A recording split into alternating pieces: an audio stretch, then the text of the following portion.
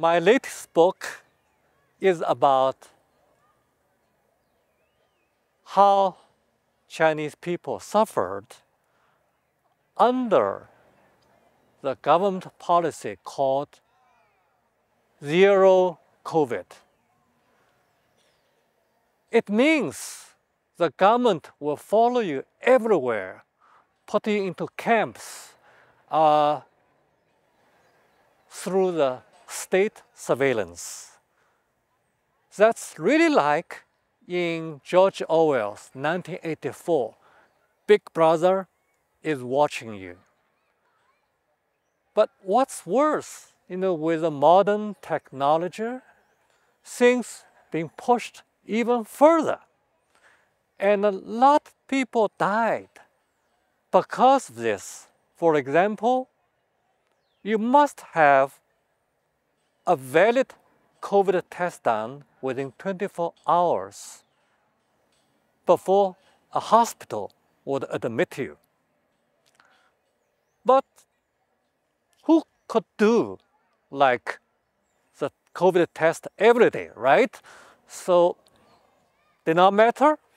And uh, like, you know, quite an old man, they could not be.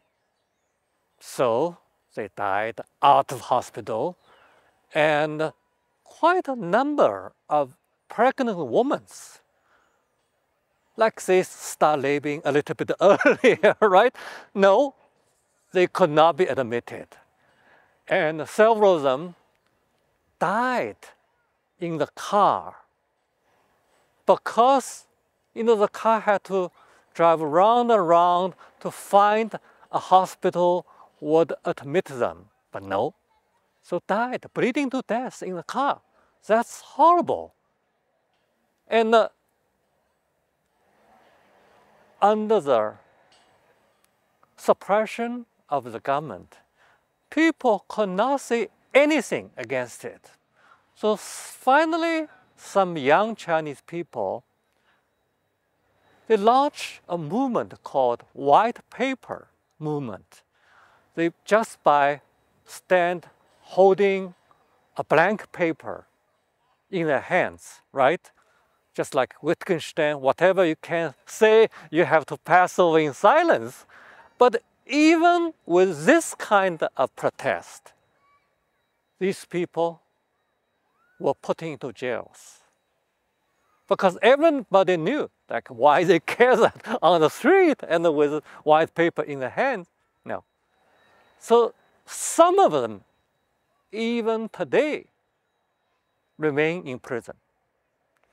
So this is, this, this situation is really worse than 1984. My mentor in my graduate days died just because of this. And actually he died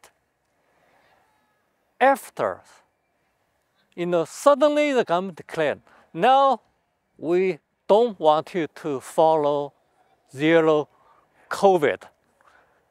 But it's such a sudden shift, right?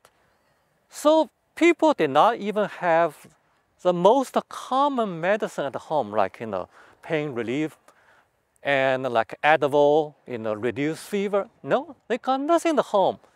And my mentor, his name is Lu Wenjun, died just without a single pill at home because all the pharmacies, like kind of all things were taken away. So, but for him, he's wonderful, wonderful translator and he translated Faulkner, almost all the Faulkner work into Chinese. Died just because a sudden shift. Because like say yesterday, the government will say, yes, we will push you know, zero COVID policy to the end. China is doing much better than Western country. But no, next morning, okay, we are getting out of zero COVID policy. So that's ridiculous. And a lot of people died, you know, totally unprepared. And the, the, the hospital suddenly you know, also overwhelmed. They could not you know, admit people anyway. So it's, it's horrible. So, and it's also out of the question for the Chinese writers, I keep touch with them, to write anything about the COVID disaster. I think for two months after the getting out of zero COVID policy, it is reported more than 2 million people, unnatural deaths, it's reported, reported. And, uh, but it's not possible for any Chinese writers to write anything about that. I totally understand that because this kind of system, this kind of suppression, and this kind of censorship. But I feel it's really my responsibility, right, to write about that. My English, I think, edition come out about the same time as the French edition. Uh, I already got threatening emails and uh, all the online posts. One of them called me a traitor because I described a real situation in China. And for some reason, I don't know, they also call me a blue fly, insect, right? And uh, I have to be terminated, killed. And in China, we all know if it's